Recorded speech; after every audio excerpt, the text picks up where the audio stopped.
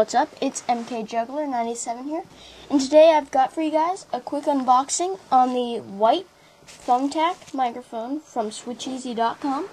I have been waiting for this, and actually I also got a um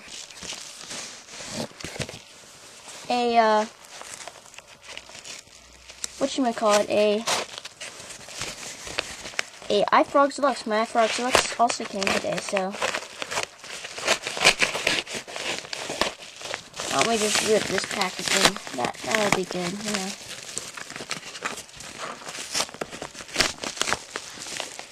So, let's look into it. Hmm.